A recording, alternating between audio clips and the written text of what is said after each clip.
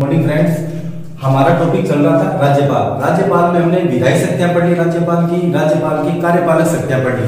आज हम पढ़ेंगे राज्यपाल की वित्तीय शक्तियाँ राज्यपाल की न्यायिक शक्तियाँ और राज्यपाल की अन्य शक्तियाँ। तो शुरुआत करते हैं राज्यपाल की वित्तीय शक्तियों से। राज्यपाल की जो फाइनेंशियल पावर है, उन फाइनेंशियल पावर की हम बात करते हैं। सबसे पहला पॉइंट आता है आपकी जो ट्वेल्थ की बुक है, उसमें जो सबसे पहला पॉइंट दे रखा है उसने कि वार्षिक वित्तीय विवरण को पेश करवाना। वित्तीय शक्तियों में राज्यपाल की सबसे महत्वपूर्ण शक्ति है कि राज्यपाल वार्षिक वित्तीय विवरण राजस्थान की विधानसभा में क्या करवाता है? प्रस्तुत करवाता है। वार्षिक वित्तीय विवरण क्या होता है? वार्षिक वित्तीय विवरण का मतलब ये हुआ है, वार्षिक वित्तीय विवरण का मतलब यह है कि सरकार की आय व्यय क्या? लेखा जोखा। मतलब एक वर्ष में सरकार ने कितना पैसा कमाया है और उस पैसे को सरकार ने कहाँ पे खर्च किया है? कितना पैसा सरकार ने कमाया है और कितना पैसा सरकार ने खर्च किया है, उन सभी की बातें, उन सभी की बातें वार्षिक वित्तीय विवरण में राज्यपाल पेश करवाता है। वार्षिक वित्तीय विवरण। जब राष्ट्रपति मैंने आपको पढ़ाया था और राष्ट्रपति के हमने जब फाइनेंशियल पावर पढ़े थे, वहाँ पे भी यही शब्द आया था, वार्षिक वित्तीय विवरण शब्द आया था। वार्षिक वित्तीय विवरण का मतलब है एक वर्ष के अंदर सरकार जो भी पैसा कमाएगी, है ना, उस उस उस कमाएगी और उस पैसे को किस प्रकार खर्च करेगी, उसका जो लेखा जोखा है, उसका जो लेखा जोखा है, वो राज्यपाल विधानसभा में क्या करवाता है, प्रस्तुत करवाता है। इसी वार्षिक वित्तीय विवरण को आम बोलचाल की भाषा में बजट कहा जाता है। आम बोलचाल की भाषा में क्या कहा जाता है? बजट कहा जाता है। तो बजट को राज्यपाल विधानसभा में क्या करवाता है? पेश करवाता है। तो राज्यपाल की पहली पहली पावर कौन सी होगी? वार्षिक वित्तीय विवरण को पेश करवाना। मतलब दूसरे शब्दों में इसे क्या कह सकते हैं? कि जो हमारे बजट आता है, उस बजट को पेश कौन करवाता है? उस बजट को पेश करवाता है राज्यपाल। लेकिन संविधान में कहीं भी बजट शब्द का प्रयोग नहीं किया गया है। संविधान में केवल इसे वार्षिक वित्तीय विवरण बोला गया है और इसे राज्यपाल प्रत्येक वर्ष के प्रारंभ में क्या करवाता है? विधानसभा के समक्ष रखवाता है। दूसरा पॉइंट धन विधेयक। धन विधेयक मनी बिल बोला जाता है इसको। धन विधेयक राज्यपाल सहमति से ही आता है। दूसरे शब्दों में, धन विधेयक को आपको सामान्य भाषा में देखो बताऊँ तो सरकार अगर सरकार अगर कोई नया टैक्स लेकर के आती है, सरकार अगर कोई नया टैक्स लेकर के आती है तो उसे हम क्या कहते हैं? धन विधेयक कहते हैं, ठीक है? तो जब धन विधेयक लाया जाता है विधानसभा में तो सबसे पहले किसको पूछ करके लाया जाएगा? राज्यपाल को पूछ करके लाया जाएगा। राज्यपाल की पूर्व सहमति से ही धन विधेयक को विधानसभा में प्रस्तुत किया जा सकता है। तो धन विधेयक किसको पूछ करके लाया जाएगा? राज्यपाल को पूछ करके लाया जाएगा। ठीक है? तो दो पॉइंट हमने पढ़े वित्तीय विवरण में। पहला क्या पढ़ा राज्यपाल वार्षिक वित्तीय विवरण पेश करवाएगा और दूसरा धन विधेयक हमेशा राज्यपाल को पूछ करके ही लाया जाएगा। याद करने का तरीका, धन विधेयक को क्या कहा जाता है? धन विधेयक का मतलब क्या होता है? धन विधेयक का मतलब ये होता है कि सरकार जो भी नया टैक्स लेकर के आएगी, उसे धन विधेयक ही बोला जाता है। तो जो भी नया होगा वो किससे पूछ करके लाया जाएगा, राज्यपाल से। क्यों पूछा जाएगा राज्यपाल से? क्योंकि राज्यपाल हमारा, हमारे राज्य का संवैधानिक प्रमुख है। जब मैंने आपको राष्ट्रपति पढ़ाया था तो उस राष्ट्रपति में मैंने आपको बताया था कि विधेयक अगर संसद में लाया जाएगा तो राष्ट्रपति की पूर्व सहमति से ही लाया जाएगा। ठीक है? तीसरा पॉइंट संचित निधि से खर्च करने का अधिकार। संचित कंसोलिडेटेड फंड राष्ट्रपति के वीडियो में मैंने आपको बताया था, हमारी सरकार के पास तीन प्रकार निधि होती है। केंद्र सरकार के पास, उसी प्रकार राज्य सरकार के पास भी तीन प्रकार की क्या होती है? निधि होती है। संचित निधि कंसोलिडेटेड फंड बोला जाता है इसको। संचित निधि कंसोलिडेटेड फंड से जो खर्च करने का अधिकार है, वो किसके पास है? राज्यपाल के पास है। और संचित निधि संचित निधि क्या होती है? सरकार का जितना भी पैसा है, चाहे वो टैक्स से सरकार ने इकट्ठा किया हो, चाहे नॉन टैक्स से सरकार ने इकट्ठा किया हो टैक्स और नॉन टैक्स जो कुल मिला के सरकार के पास जो पैसा आता है, वो पैसा आकर के कौन सी निधि में जमा होता है? वो संचित निधि में जमा होता है। और संचित निधि से जो धन है, वो खर्च करने का अधिकार किसके पास है? हमारे राज्यपाल के पास है। चौथा, अनुदान की मांग। अनुदान की मांग हमेशा राज्यपाल को पूछ करके लाई जाती है। कौन सी मांग? अनुदान। अब अनुदान क्या होता है? इसके लिए थोड़ा सा हमें बजट के डेप्थ में जाना होगा। और भी देता हूँ आपको, अनुदान का मतलब क्या होता है? अनुदान का मतलब ये होता है, इकतीस मार्च को हमारे सरकार के पास क्या होता है? पैसा इकतीस मार्च को सरकार के पास पैसा खर्च हो जाता है, खत्म हो जाता है। खत्म इसलिए हो जाता है दोस्तों क्योंकि एक एक मार्च, अप्रैल, एक अप्रैल से नया वित्तीय वर्ष शुरू हो जाता है। एक अप्रैल से लेकर के इकतीस मार्च तक हमारा फाइनेंस ईयर होता है। तो इकतीस मार्च तक सरकार के पास सारा सारा पैसा लैप्स हो जाता है। एक अप्रैल से अगर सरकार को खर्च करना है, खर्च करना होता है तो सरकार विधानसभा में बजट लेकर के आती है इसके लिए। क्या लेकर के आती है? बजट जब बजट पेश किया जाता विधानसभा में तो वो तुरंत पास नहीं होता।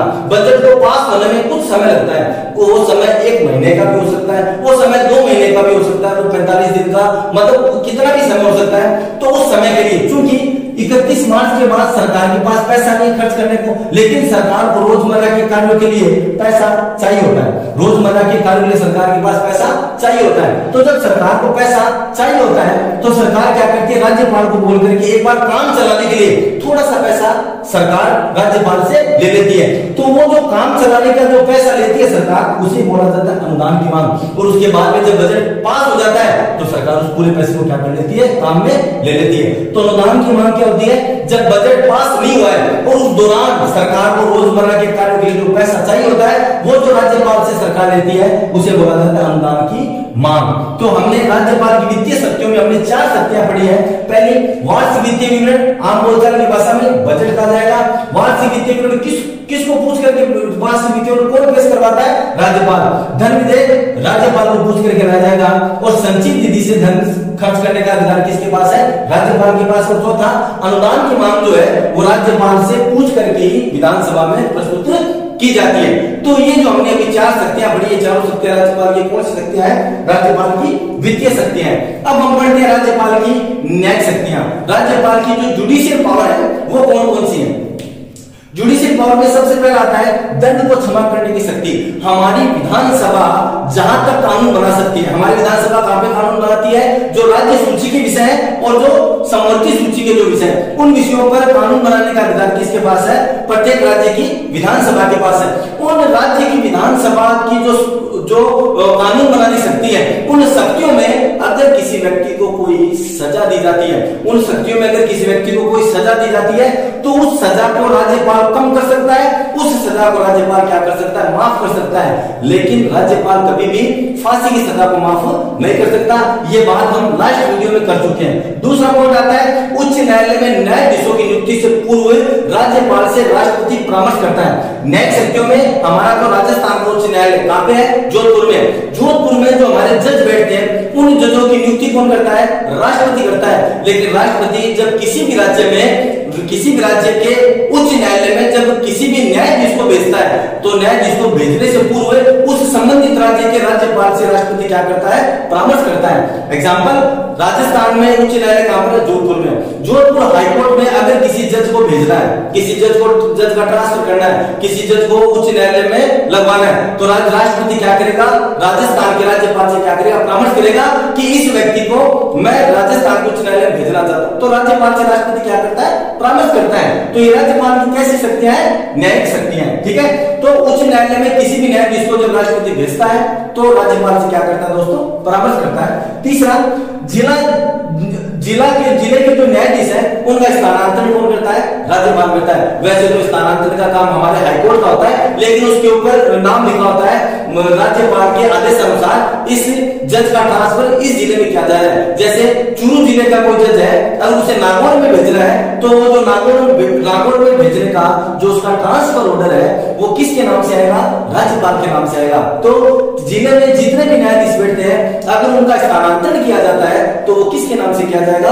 राज्यपाल के नाम से किया जाता है। या दूसरे शब्दों में, जजों का ट्रांसफ़र कौन करता है? हमारा राज्यपाल करता है। अगला पॉइंट जब राज्यपाल अपने पद पर रहेगा है ना किसी भी राज्य में जो राज्यपाल है, जब वो अपने पद पर रहते हैं तो उन पर किसी भी प्रकार की कोई भी न्यायिक कार्रवाई नहीं की जा सकती। मतलब कोई भी न्यायालय उनको सजा नहीं दे सकता है। जब तक कोई राज्यपाल अपने पद पर रहता है। पद पर रहते हुए राज्यपाल को किसी प्रकार की कोई, किसी प्रकार की सजा नहीं दी जा सकती। उसके ऊपर किसी भी प्रकार का अभियोग नहीं चलाया जा सकता है। तो ये राज्यपाल की कौन सी शक्तियाँ हुई? न्यायिक शक्तियाँ। न्यायिक शक्तियों में हमने सबसे पहला क्या पढ़ा? राज्यपाल किसी भी दंड राज्य विधि के अंदर किसी भी व्यक्ति के दंड को क्षमा कर सकता है, उसके दंड को कम कर सकता है, उसके दंड की प्रकृति बदल सकता है। ये हमने बात करनी थी पहले। उच्च न्यायालय में कोई भी न्यायाधीश अगर राष्ट्रपति भेजेगा तो राज्यपाल से क्या करेगा? परामर्श करेगा। उसके बाद में ज़िले, जिला में जो न्यायाधीश होते हैं, उनका जब ट्रांसफ़र किया जाता है तो राज्यपाल ही करता है। और पद पे रहते हुए राज्यपाल, पद पे रहते हुए राज्यपाल के ऊपर कोई अभियोग नहीं चलाया जा सकता है। तो अभी तक हमने वित्तीय शक्तियाँ पढ़ी है, राज्यपाल की न्याय शक्तियाँ पढ़ी है। अब हम पढ़ने जा रहे हैं राज्यपाल की अन्य शक्तियाँ। राज्यपाल की अन्य शक्तियों में बात करते हैं तो सबसे पहला अगर किसी भी राज्य में संवैधानिक तंत्र विफल हो जाता है तो राज्यपाल राष्ट्रपति से कह के उस राज्य में राष्ट्रपति शासन की सिफारिश करता है। संवैधानिक तंत्र फेल होने का यहाँ पे तात्पर्य क्या है? संवैधानिक तंत्र फेल होने का तात्पर्य क्या है? हमारा संविधान ये कहता है, प्रत्येक राज्य के अंदर बहुमत की सरकार हो ठीक है? जैसे मान लिया, राजस्थान के अंदर दो सौ एमएलए ठीक है? दो सौ में से एक सौ एक एमएलए जिस पार्टी के होते हैं, उसकी क्या होती है? सरकार होती है। मान लिया कि एक सौ एक में से बीस एमएलए कांग्रेस को छोड़ करके बीजेपी में चले गए। अब कांग्रेस के पास कितने एमएलए हो गए? अस्सी एमएलए हो गए। ठीक है? अब कांग्रेस का कोई व्यक्ति मुख्यमंत्री नहीं हो सकता क्यों? क्योंकि उसके पास बहुमत नहीं है। तब राज्यपाल क्या करेगा? राष्ट्रपति से कह देगा कि राजस्थान की सरकार संविधान के अनुरूप नहीं चलाई जा रही, क्योंकि संविधान ये कहता है बहुमत की सरकार होनी चाहिए, बल्कि सरकार कैसी है? अल्पमत में ठीक है? तो ऐसी स्थिति के अंदर राज्यपाल राष्ट्रपति से कह करके या कोई अन्य भी कारण हो सकता है। अन्य कारण जैसे कि उस राज्य, राजस्थान की सरकार ने केंद्र की किसी बात को मानने से मना कर दिया। क्या ऐसा नहीं करेंगे? जबकि हमारा संविधान कहता है, केंद्र के दिशा निर्देशों का पालन प्रत्येक राज्य सरकार को करना होगा। तो राजस्थान सरकार अगर मान लो संविधान में जो बात लिखी गई है, उसका क्या करती है? उल्लंघन करती है। राजस्थान सरकार ऐसा कोई कानून बनाती है जो हमारे मूल अधिकार से टकराता हो, या मूल अधिकार को कम करता हो, या उच्च न्यायालय है, उच्च न्यायालय के अधिकार क्षेत्र को कम करता हो, ऐसा कोई काम करती है राज्य सरकार जो कि हमारे संविधान में वर्जित है? मतलब वहाँ पे संविधान तंत्र क्या हो चुका है? फेल हो चुका है। मतलब वो सरकार संविधान के अनुरूप नहीं चलाई जा रही। तो राज्यपाल महोदय क्या करते हैं, राष्ट्रपति से लिख करके देते हैं कि राष्ट्रपति जी, इस राज्य में सरकार संविधान के अनुरूप नहीं चलाई जा रही, कृपया करके आप यहाँ पे राष्ट्रपति शासन लागू करें। तो राज्यपाल की रिपोर्ट के अनुसार जो राष्ट्रपति है, उस राज्य में संवैधानिक तंत्र विफल होने के स्वरूप उस राज्य में राष्ट्रपति शासन की क्या करता है? घोषणा करता है। राष्ट्रपति अपनी मन मर्ज़ी से कभी घोषणा नहीं करता। वो राज्यपाल की लिखित सिफारिश के आधार पर ही लिखित सिफारिश के आधार पर उस राज्य में राष्ट्रपति शासन की क्या करता है? घोषणा करता है। और जब किसी भी राज्य में जब राष्ट्रपति शासन लगता है तो वहाँ की जो मंत्रिमंडल है, उसे राष्ट्रपति बर्खास्त कर देता है। जैसे मान लीजिए, वर्तमान में अशोक गहलोत की सरकार है। और अशोक गहलोत की सरकार मान लो संविधान के अनुरूप नहीं चलाया जाती। तो हमारे राज्यपाल जो है, अगर राष्ट्रपति को लिख करके देते हैं कि अशोक गहलोत संविधान के अनुरूप सरकार नहीं चला नहीं चला रहे हैं तो राष्ट्रपति क्या करेगा? राजस्थान में राष्ट्रपति शासन लागू कर देगा। और जब राष्ट्रपति शासन लागू कर देगा तो मुख्यमंत्री के जितने भी पावर है, मुख्यमंत्री के पास जितने भी पावर है, वो सारे के सारे पावर किसके पास ट्रांसफ़र हो जाएँगे? राज्यपाल के पास ट्रांसफ़र हो जाएँगे। या दूसरे शब्दों में, राज्यपाल जो है, केंद्र सरकार के दिशा निर्देशों की पालना करेगा। जैसा राष्ट्रपति कहेगा वो सारे काम कौन करेगा राज्यपाल। कब जब राष्ट्रपति शासन किसी राज्य में लगाओ तो देखो, जब राष्ट्रपति शासन किसी राज्य में लगता है तो केंद्र के अभिकर्ता के रूप में, अभिकर्ता का मतलब हो गया एजेंट तो केंद्र सरकार के एक एजेंट के रूप में कार्य करता है कौन? है राज्यपाल। तो राष्ट्रपति शासन में सारी सारी शक्तियाँ किसके पास आ जाती है? राज्यपाल के पास आ जाती है। अगला पॉइंट तो अन्य शक्तियों में हमने क्या पढ़ा? संवैधानिक तंत्र की विफलता की राष्ट्रपति को सूचना देता है। कौन? राज्यपाल। केंद्र जब राष्ट्रपति शासन लगा होता है तो केंद्र के अभिकर्ता के रूप में कार्य कौन करता है? राज्यपाल। राष्ट्रपति शासन की सिफारिश कौन करता है? राज्यपाल। अगला पॉइंट हम पढ़ते हैं। संविधान के अनुच्छेद एक के अनुसार छत्तीसगढ़, झारखंड, मध्य प्रदेश और उड़ीसा में जनजाति के जो मंत्री है, उनकी नियुक्ति कौन करता है? राज्यपाल करता है। कि संविधान ने विशेष अधिकार दे रखा है कि चार राज्यों में कौन कौन से राज्यों में? छत्तीसगढ़ के अंदर, झारखंड के अंदर, ओडिशा के अंदर और मध्य प्रदेश के अंदर एक जनजाति, जो ट्राइब्स है, उन ट्राइब्स के मंत्री नियुक्ति करने का अधिकार किसके पास है? राज्यपाल के पास है। और अगला, असम के अंदर जो खदान है, जो कोयले की खदान है, और वहाँ पे जो भी मतलब प्राकृतिक पदार्थ निकलने वाले, निकलने की जो खदान है, उन खदानों में जो इनकम होती है, उनका बंटवारा बंटवारा करने का अधिकार भी किसके पास है? असम के राज्यपाल के पास है। तो ये राज्यपाल की अन्य शक्तियाँ थी, ठीक है? कल हम बात करेंगे मुख्यमंत्री की। अगर इस टॉपिक में कोई बात अगर आपको समझ में नहीं आई हो तो आप मुझे कॉल कर सकते हैं, मैं आपको बता दूँगा। Thank you